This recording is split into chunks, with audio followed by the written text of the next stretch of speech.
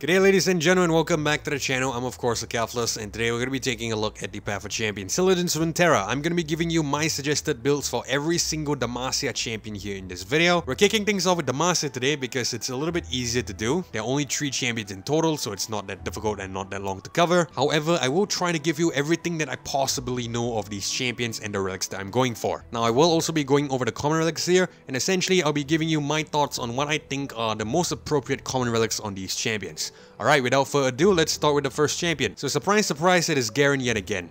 Now Garen, as I mentioned, is probably one of my favorite champions here in POC, and his relics definitely, definitely do him justice. This is the same build that I went with before, Archangel Staff, Choking Crown, and Berserker's Buckle. Now for those of you who've seen it before, feel free to skip ahead, timestamp should be on your screen. However, for those of you who missed it, the idea with this is essentially like so. Archangel Staff will refill your mana every round, allowing you to take advantage of the singles combat created by Justice.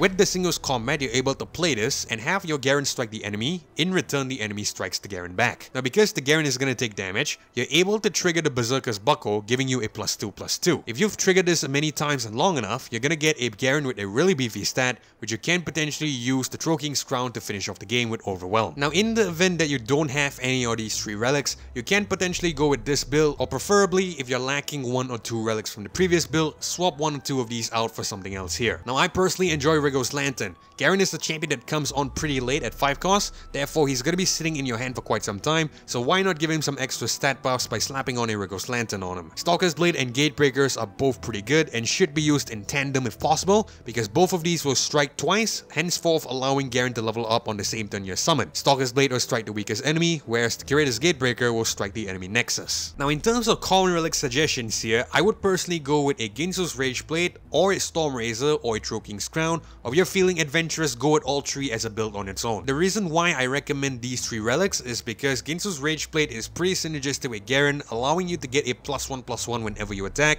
essentially raising his stats for free. Storm Razor is also pretty nice because you are able to attack safely with him courtesy of quick attack. And as for the Choking's Crusher, it does the same thing as the Choking's Crown, the only difference here is that Garen's the only one getting the overwhelm instead. Now let's take a look at his sister now Luxanna. So Luxanna is also another champion that I mentioned in yesterday's video. I quite enjoy playing this champion and the build here is pretty decent as well. Luden's Tempest, all your spells and skills deal 1 extra damage is nice because Final Spark here will actually have its damage amped up courtesy of Luden's Tempest.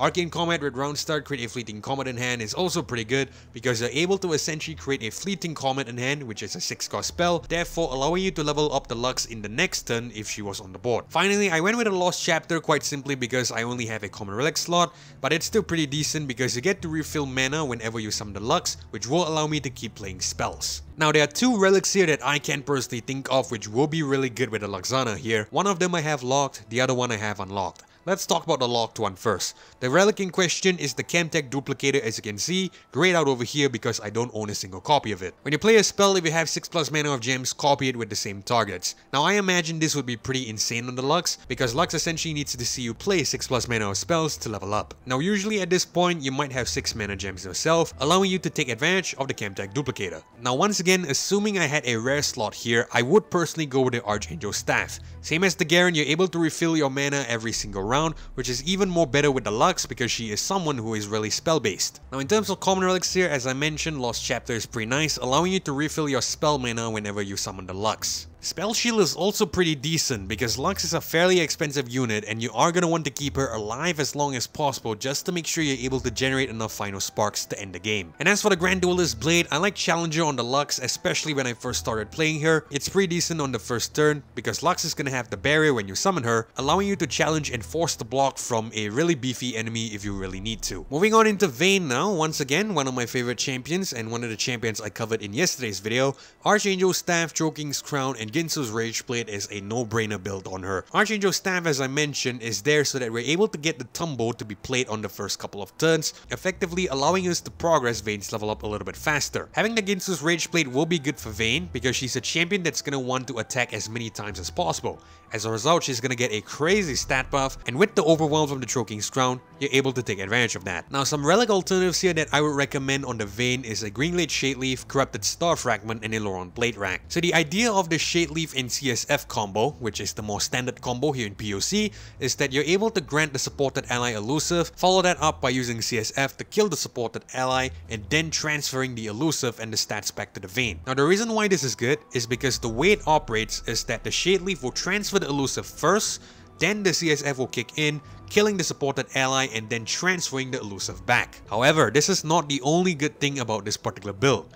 Having the CSF will also help you greatly because it will transfer the stats of the supported ally even though the supported ally had a stat boost from the equipment. For example, if the ally to Vayne's right has a plus 1 plus 1 from an equipment, that plus 1 plus 1 will also be transferred onto the Vayne. And once that ally is dead, said equipment will return back to your hand and as a result, nothing is wasted. You can effectively repeat this as many times as you can. Finally, Challenger is also pretty nice. That way you're able to fashion out better chances to attack, allowing you to attack with your Vayne really really safely. Now in terms of common relics here, I would personally recommend either a Rage Blade, a Storm Razor or the Choking's Crusher.